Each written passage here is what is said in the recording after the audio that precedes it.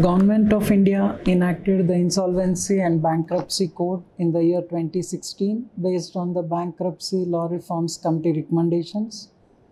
This code strives for revival of stressed companies, helps financial institutions to maximize the recovery of their assets and more specifically in a time bound manner and this code basically has very far reaching consequences for the Indian economy for business houses, for financial institutions. A problem that India is encountering at this point of time is the dearth of qualified legal professionals and other resolution professionals with suitable experience to deal with these cases either before company law tribunals or outside the company law tribunal.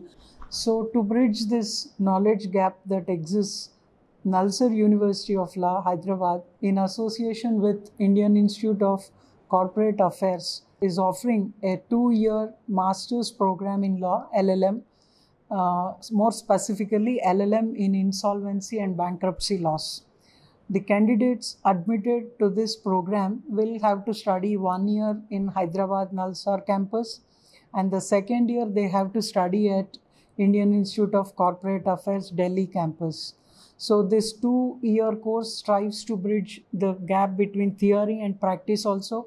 The Corporate Affairs Institute tries to bring in the practical component of it and the NALSAR also strives to bring in theory and practical component of it and it is a full-fledged tailor-made course to create that kind of knowledge and the expertise required to handle these insolvency and bankruptcy matters. All the details of the program are available on NALSAR and IICA website.